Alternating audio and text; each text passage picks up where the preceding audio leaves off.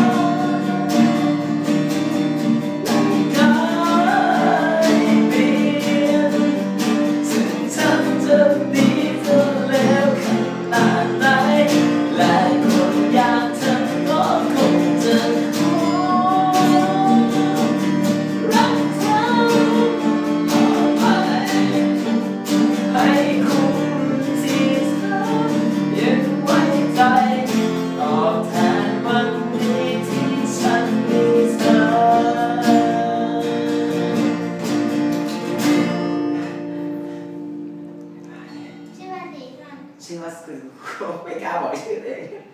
เอ่อคุณเป็นคุณครูเซ็กซี่นะครับเสียงอาจะเซ็กซี่เป็นเอาไว้สวัสดีครับ